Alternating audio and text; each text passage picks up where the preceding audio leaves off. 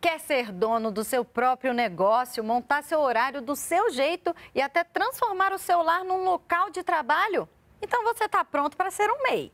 No Saiba Mais de hoje, vamos aprender como se tornar um microempreendedor individual e quais os benefícios da formalização. Não saia daí!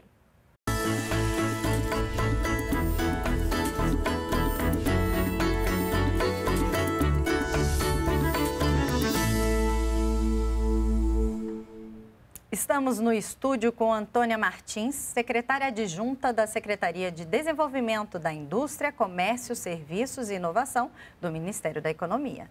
Obrigada por ter vindo. Eu que agradeço. Antônia, o MEI é um dos maiores programas de inclusão social do nosso país? Isso.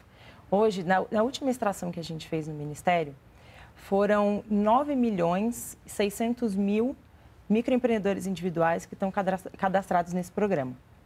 E um fato curioso é que desde o ano passado é, houve um decreto do presidente liberando os motoristas de aplicativo Olha. ou não. E em um ano foram 45 mil motoristas inscritos no programa do MEI. Nossa, que maravilha, né? É, Olha é. só. E por que, que surgiu essa necessidade de ter microempreendedores? O MEI, ele surgiu para formalizar aqueles trabalhadores que estavam quase que invisíveis ali uhum. na, aos olhos do Estado. Né? Então, o MEI ele é um modelo de empresa, né? então, ele é um programa que garante que essas pessoas tenham um tratamento diferenciado frente ao pagamento de tributos na Receita Federal. Então, é um programa que simplifica esse pagamento de tributos e ajuda as pessoas a se formalizarem. Por isso é importante sair da informalidade, né? Exato, exato. Essa categoria ela foi criada justamente como você está colocando aqui. Há quanto tempo? O MEI existe há 11 anos. Ele foi uma lei aprovada em 2008, 2000, 2008 e começou a valer em 2009. E quais são os órgãos responsáveis por cuidar desses microempreendedores? Hoje, principalmente, você tem o Conselho Gestor do Simples Nacional, uhum. que é quem determina que atividades podem estar cadastradas no MEI ou não. Você tem o SEBRAE, que está olhando muito para a capacitação desses microempreendedores. E você tem a, a, Subsecretaria de Micro e Pequena Empresa, que fica abaixo da Secretaria de Indústria e Comércio. Então, também são o, o, é o órgão do executivo responsável por olhar os microempreendedores individuais. Tudo no Ministério da Economia. Isso, dentro do Ministério da Economia. Você falou aqui que são cerca de 9 milhões né, no nosso país. Isso. Eles movimentam quanto da nossa economia? Qual a importância de ter um microempreendedor numa nação? Então, uma coisa que eu sempre falo em todos, as, todos os eventos que eu participo é o seguinte: 98,5% de todos os CNPJs no Brasil são de MEIs, micro e pequenas empresas. Ah. Então, são eles os verdadeiros heróis, né? São eles que movimentam a economia. E a gente no governo federal, a gente tem que trabalhar para simplificar a vida deles e trazer eles para perto, para formalização, para que ele possa se capacitar, para que ele possa ter acesso a crédito, para que ele possa estar inserido numa cadeia de valor, que antes, quando ele estava informal, ele não, não estaria inserido nessa uhum. cadeia. Bom, a nossa primeira participação foi do Aurélio Prado, de Guará, Distrito Federal. O Sebrae tem novidades para o MEI este ano? Olha, dentro da Subsecretaria de Micro e Pequena Empresa e em parceria com o SEBRAE, a gente está trabalhando no projeto que é o CredMEI. Uhum. Dentro do portal do empreendedor, o MEI tem uma série de serviços. Um dos serviços que a gente quer ofertar, então, é o CredMEI. É como se ele fosse um Tinder do crédito. Então, os bancos podem ofertar suas linhas de crédito, é, a gente junta toda a documentação do MEI, envia para os bancos e eles já dão uma resposta se o seu crédito foi aceito ou não. Uhum. Então, hoje, são 30 instituições cadastradas já, e a gente está expandindo bastante esse, esse, essa lista de instituições cadastradas, atuando em 20 estados. A ideia é que a gente traga para os 27 estados até o, até o meio do ano, e a gente amplie para mais de 150 instituições. Né? Então, é um projeto piloto que foi muito bem sucedido e que a gente está agora em expansão, e a gente acredita que, o crédito, o microcrédito, é uma das principais coisas que falta, né? aquele pontapé inicial para que o empreendedor possa se desenvolver, comprar seu insumo, abrir uma nova loja. Então, a gente acredita muito que o CredMei pode ter esse potencial de ajudar o microempreendedor individual. Então, vamos para o X da questão. Como ser um MEI, né? O que é necessário? Quais são os critérios para ser um, Vamos mostrar aqui na tela justamente quais são essas necessidades, qualificações que ele precisa. Vamos lá, tem a questão salarial, né? Tem a questão também de pode até ter um empregado e não pode estar vinculado a outra empresa. Exato. E tem uma coisa importante também. Tem uma lista das atividades que podem estar, é, que podem ser incluídas no MEI. Hum, legal. São 468 atividades. Né? E essa lista está disponível no portal do empreendedor. Né? Agora, na parte mais técnica, uhum. é o anexo 11 tá. da resolução 140 do Conselho, do Conselho Gestor do Simples Nacional. Uhum. Então, é esse conselho que decide quem entra e quem sai dessa lista das atividades permitidas pelo MEI. Voltando na questão até salarial, ele pode até ganhar pouquinho, né? Ou até 6 mil ou menos, isso significa. Exatamente. Tem um piso também de mínimo que ele tem que não, ganhar? Não, não esse existe é o máximo, mínimo, né? Esse é o máximo. Tá. E aí a questão também do empregado. Tem como estipular o salário desse empregado? Tem regras? Tem. Esse empregado do MEI, ele pode ganhar no máximo até um salário mínimo. Uhum. Então, esse é o teto. Né? E esse faturamento é importante dizer que ele é autodeclarado. Tá. Então, essa é uma das obrigações do MEI que a gente pode, inclusive, falar mais para frente, mas uma delas é você fazer a declaração anual uhum. no site do Portal do Empreendedor ou pelo aplicativo do MEI. Tá. Então, você faz essa declaração de faturamento tá. anual. Né? E você diz se você atingiu esse teto ou não. Uhum. Então, o MEI, ele seria uma pessoa jurídica? O MEI é uma pessoa jurídica, ele tem direito a CNPJ, ele pode emitir nota fiscal eletrônica, ele pode ter acesso a crédito nos bancos como uma pessoa jurídica, então uhum. ele tem todos os benefícios de uma empresa. E você colocou aqui, são várias atividades, Exato. né? É, ele pode ter mais de uma, por exemplo, atividades secundárias? Ele pode ter até 15 atividades. Olha, é, bastante, então, né? Além da atividade principal. A questão é, o que pode diferenciar é no pagamento do tributo. Tá. Então, o que, é importante? O pagamento do tributo ele é 5% do salário mínimo estipulado no ano. Hum. O salário mínimo vigente hoje é de R$ 1.045. Uhum. Então, 5% disso dá aproximadamente 52 reais. Você acresce isso um real se você está numa atividade de comércio ou indústria, uhum. você paga o ICMS. Se você está em serviço, você paga cinco reais, o ISS tá. municipal. Se nas 15 atividades que você listou do MEI, você tem as duas, você paga cinco reais de serviço mais um real do ICMS. Ah, então você paga tá. seis reais. É a única diferença. Então, assim, é, a categoria não necessariamente, essas secundárias precisam serem semelhantes àquela principal dele. Não necessariamente. Não precisa, desde que, assim, está setorizado, né? Comércio, Exato. serviço, então Exato. vai pagar de acordo com o setor, seria isso. isso. E é importante também, a título até de curiosidade, quais são as top 10 categorias. Tá, né? isso. Então, é a primeira delas é a parte de beleza, então barbeiro, cabeleireiro, manicure, pedicure.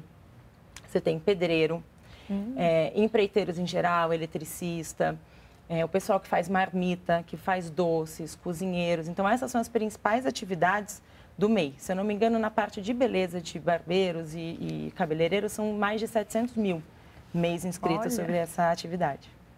E se, por exemplo, a pessoa não encontrou atividade ali, ela pode sugerir acrescentar a atividade na lista? Ela pode até entrar em contato com a gente, mas quem faz, quem toma a decisão das atividades uhum. que estão uhum. incluídas é o conselho gestor. E o conselho gestor hoje não está na competência da secretaria de, da subsecretaria de micro e pequena empresa nem do Sebrae. Tá. Então existe até um projeto de lei é, sendo discutido no, no Senado querendo incluir essa subsecretaria de micro e pequena empresa nesse conselho gestor, uhum. mas ainda é uma coisa a ser discutida. Tá. Hoje quem cuida desse conselho então é praticamente, basicamente a Receita. Você falou aqui, não dá para listar todas as atividades que são muitas, mas existem aquelas que a gente pode considerar proibidas para um MEI? Existem algumas que, tão, que estão fora, então, por exemplo, quando você pega a questão de produção de armamentos, uhum. então são algumas coisas que não fazem sentido tá, tá. tá no meio. Atividade não faz sentido, né? são empresas maiores, então essas empresas estão descadastradas. É, mas a gente sempre trabalha para a inclusão, porque como é um processo de, de inclusão, de formalização, quanto mais atividades Sim. o MEI contemplar, melhor para o cidadão. Com certeza. E quem não pode de jeito nenhum ser um microempreendedor? Então, quem não tiver dentro dessas das categorias listadas ali, quem faturar mais de 80 mil, uhum. quem for sócio, administrador ou titular de outra empresa, uhum. quem for servidor, servidor Isso, público servidor não público. pode ter MEI, né? E se ele for estadual e municipal, você deve olhar as regras do município ou do estado, mas o servidor público federal não pode ser MEI. Fora isso, qualquer pessoa que queira empreender, que queira começar o seu negócio, entra no portal do empreendedor e se inscreve nas 468 atividades listadas. Então, conta pra gente como é esse passo a passo da formalização. Você falou, né? Entra no portal do empreendedor e lá faz o quê? Procura onde? Isso. Então, vou repetir, é www.portaldoempreendedor.gov.br. Lá tem uma imagem que é Quero ser um MEI. Tá. E você clica no botão Formalize-se. Uhum. Ali, ele vai pedir o seu, a sua inscrição no GovBR. O GovBR é o login único para acessar todos os serviços tá. públicos. Então, antes, quando, quando você tinha um usuário e uma senha para cada serviço do governo, hoje você tem um usuário, uma senha. Se você já possui a conta, você entra com essa sua conta, senão você cria, é muito rápido criar conta no GovBR. A partir daí, eles vão pedir dois dados, um pessoal e outro do seu negócio. Dentro dos dados pessoais, são dados cadastrais comuns, vão pedir seu RG, uma declaração de imposto de renda. Se, no caso, não houver o título de eleitor, uhum. né, o endereço, algumas informações né, simples de contato e depois as informações da empresa. Qual atividade e qual, e qual local da empresa, onde ela tá. vai estar instalada. Que pode ser até a própria casa. Que pode pessoa. ser a própria casa. Inclusive, a maioria das, dos MEIs hoje uhum. estão, o local de, de trabalho é a própria casa. É, e esse é um processo que demora cinco minutos. Ah. É, então, é um processo muito rápido mesmo. Então, a formalização não leva tanto tempo assim para ser também não. aprovada a questão de ser autorizado a ser um MEI. Exato. E uma coisa que é muito importante dizer é que a criação do MEI é gratuita. Uhum. Então, a gente tem identificado alguns sites tentando até enganar o cidadão, né, cobrando pela abertura do MEI. Isso não existe. Qualquer pessoa, em cinco minutos, entra no portal do empreendedor, do empreendedor e consegue abrir o seu, o seu MEI e ter o CNPJ quase, quase que na hora. O Aurélio tem mais uma pergunta, ele quer saber. O governo oferece algum tipo de incentivo para MEIs já formalizados? Olha, a formalização é o primeiro passo para que ele possa acessar outro tipo de serviço. Então, a capacitação do SEBRAE, eu, eu uhum. acredito que é um dos grandes benefícios de você estar formalizado. O acesso a crédito por meio do CredMe, que eu já, eh, já uhum. comentei aqui, acho que é um dos grandes benefícios também do, do microempreendedor individual. E, além disso, ele passa a ter acesso é, a essa cadeia de valor.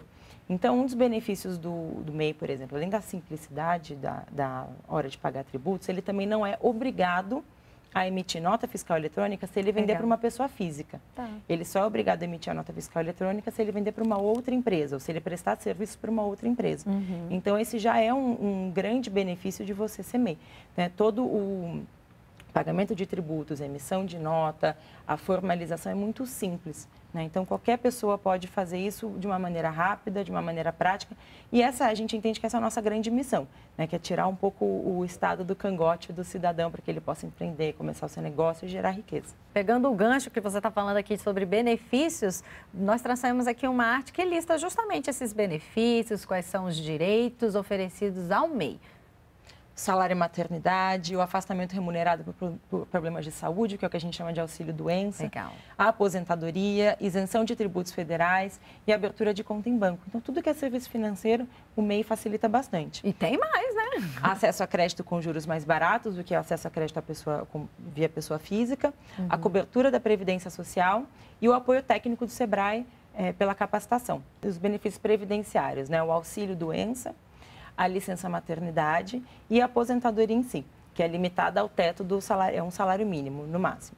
É, além disso, a contribuição do MEI ela já conta para o período de contribuição para aposentadoria por idade. Uhum. Então, se você é um MEI, você já está contribuindo como MEI, isso conta para a sua aposentadoria por idade. Isso tudo porque eles fazem parte do Simples Nacional, né? Exato. Então, tudo porque eles se formalizaram e agora eles são visíveis aos olhos do governo, né? Já já a gente continua falando sobre esses benefícios. Nós vamos a um rápido intervalo, a gente volta já já.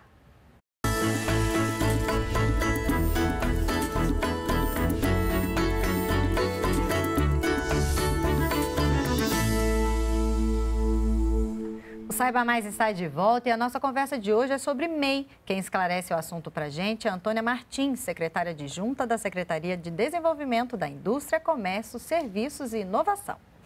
Antônia, a gente estava falando no primeiro bloco sobre os benefícios. Quando que eles passam a valer? Tem prazo de carência? Alguns benefícios têm carência.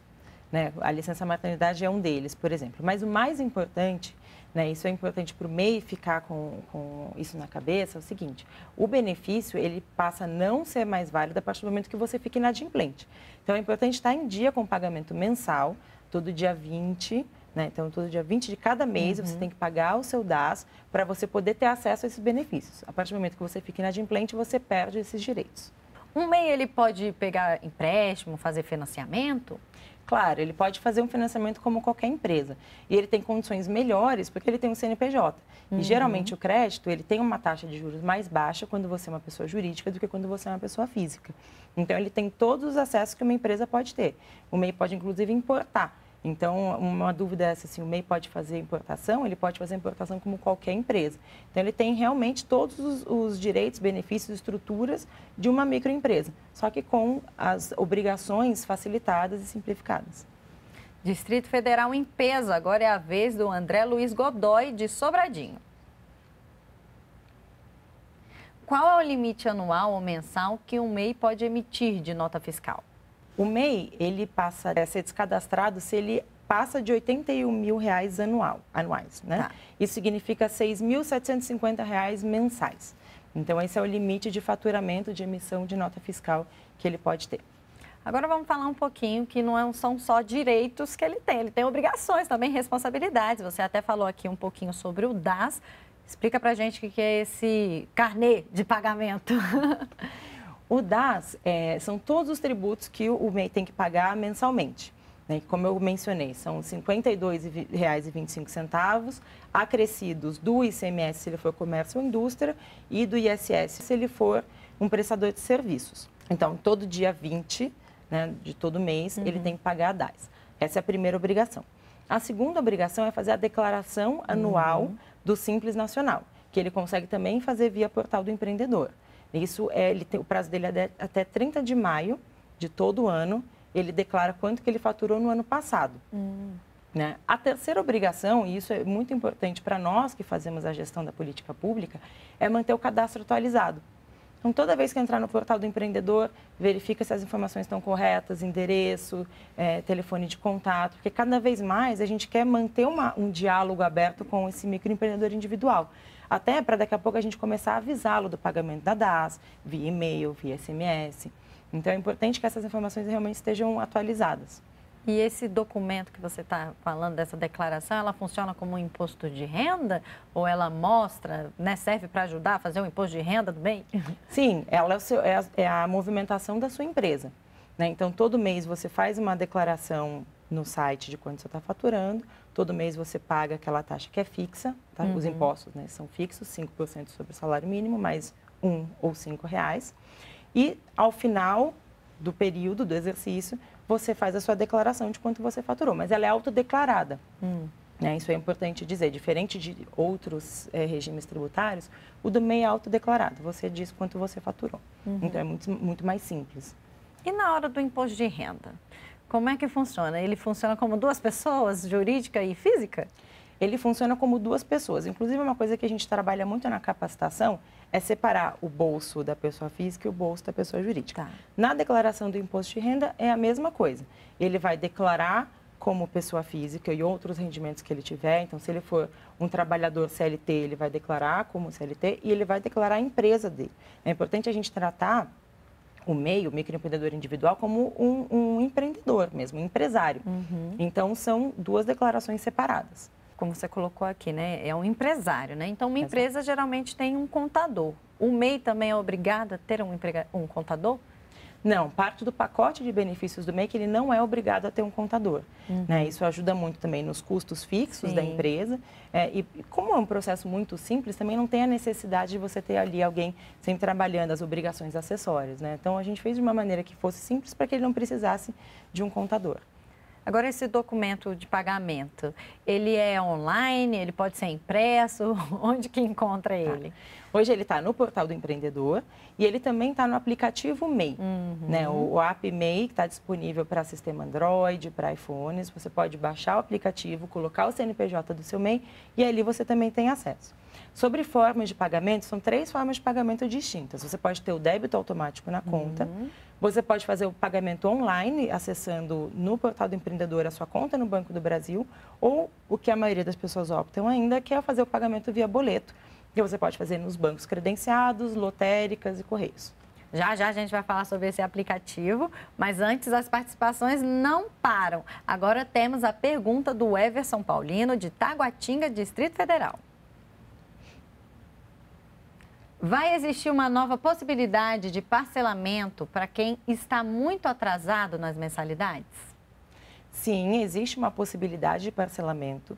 É, você pode dividir em até 60 parcelas, mas é muito importante, aqui eu repito, a gente não deixar o MEI ficar inadimplente, porque senão você perde acesso a esses benefícios. Sim. E um recado importante também é o seguinte: se você não está com o seu MEI ativo, entre no site e dê baixa no seu MEI. Né? Então, se você resolver empreender, depois você cria um novo uhum. com um novo CNPJ. Mas enquanto você não estiver empreendendo, é importante você dar baixa, porque senão os débitos continuam correndo. Né? Então, para você não ficar com esse débito na receita, entra no site, dá baixa, quando resolver empreender, cria de novo. Na formalização, é, automaticamente tem também um licenciamento? O MEI precisa de um licenciamento no sentido de um alvará de funcionamento? Não. Não, nada. Então, a partir do momento que você apresenta os dados que eu mencionei anteriormente, dado, os dados pessoais, você apresenta a sua declaração de imposto de renda ou título de eleitor, RG, os dados uhum. da empresa, você está apto a tirar o seu CNPJ e começar a sua atividade. São as atividades que a gente chama de baixo risco. Hum, né? tá. Ele está sujeito a multas, o MEI, se caso não siga alguma regra? Existe uma fiscalização em cima deles? Ele está sujeito a qualquer fiscalização municipal, estadual, tá. local. Mas isso não é um impeditivo para ele uhum. começar o negócio dele. Né? Então, isso é muito, você abrir a sua empresa é muito simples. Mas depois, é claro que você tem que olhar as regras da sua atividade e estar tá de acordo com a legislação local, seja municipal, estadual. Você falou no primeiro bloco, né, que a capacitação está por parte do Sebrae, né? Quais são os cursos oferecidos para esse microempreendedor? Tem curso à distância? O Sebrae é um grande parceiro nosso na, na capacitação. Né? Então, tem toda a parte de capacitação financeira, de planejamento de negócio. Então, o site do Sebrae oferece uma vasta opção de, de capacitação. Então, você tem os cursos online, eles fazem muitos eventos presenciais. Né? Tem um programa, inclusive, que é o programa Mil Mulheres, que é um projeto do Sebrae, é, que eu conheço o, o piloto que foi feito em São Paulo, que é para capacitar as mulheres empreendedoras, como que elas conseguem independência financeira. Né? Até muito do tema da violência da, contra a mulher está ligado ao fato de elas serem independentes financeiramente dos maridos. Então, é um trabalho muito bacana, que você vai desde a capacitação financeira, do planejamento, de como você vende, como você tem um e-commerce. Então, dentro do Sebrae, ele pode encontrar uma vasta opção, então, de, de treinamentos e planilhas, tem todo tipo de ferramentas que ele precisa para começar e desenvolver o negócio dele. Agora vamos falar sim do aplicativo. A Receita Federal ela disponibilizou uma nova versão desse aplicativo, Exato. o app MEI, né?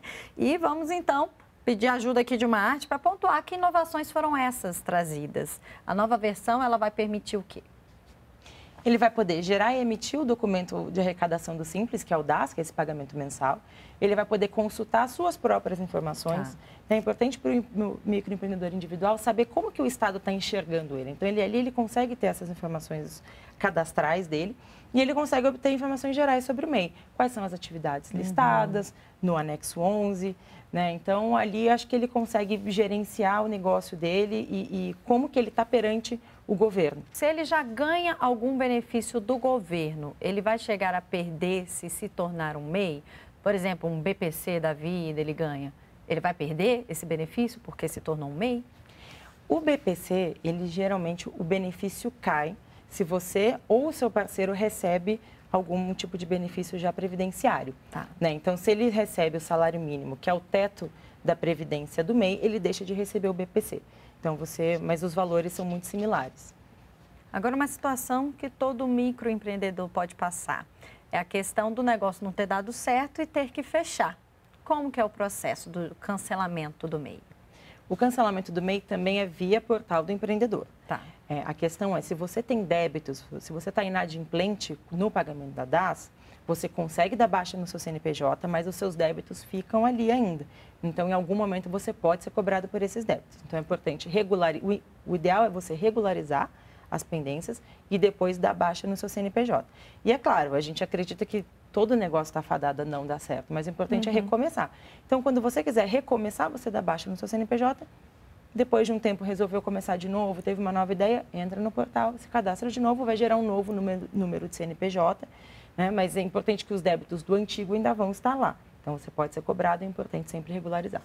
Agora, para evitar essa situação, que dicas você daria, Antônia, para um microempreendedor para que ele gere lucros e consiga conquistar mais clientes? É sempre importante, a, a, a, eu acredito muito na capacitação, né? De você buscar conhecimento, de você buscar é, se cercar de pessoas, né? Eu sou empreendedora, então eu, eu gosto muito disso, assim, de cercar de pessoas que estão na mesma atividade, que possam me dar dicas, que já passaram por aquilo, buscar mentoria. Então, além da capacitação formal, é sempre bom ter um, um mentor ali do seu lado, que já passou por alguma dificuldade, que possa te ajudar. E educação financeira. Né? Uhum. Então, é muito importante para o empreendedor, seja ele MEI, micro, pequeno, médio, sempre aprender a separar o bolso. É então, você tem o bolso que é a pessoa física, que é o seu dia a dia, que são suas compras da casa, você tem o bolso da pessoa jurídica. Então, quando você começa a misturar, é a primeira é, o primeiro passo para o fracasso. Então, é sempre importante separar as uhum. contas, botar, deixar tudo anotadinho no caderno. Né? O planejamento é uma coisa muito importante também.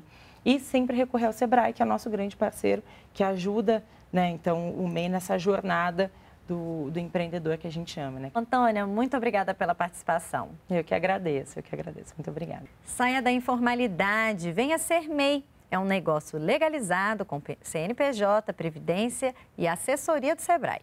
Coisa boa. Obrigada por sua audiência e até o próximo programa.